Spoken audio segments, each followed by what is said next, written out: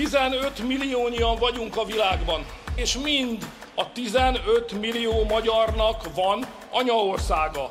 Egy az ország, egy a haza, és egy a nemzet.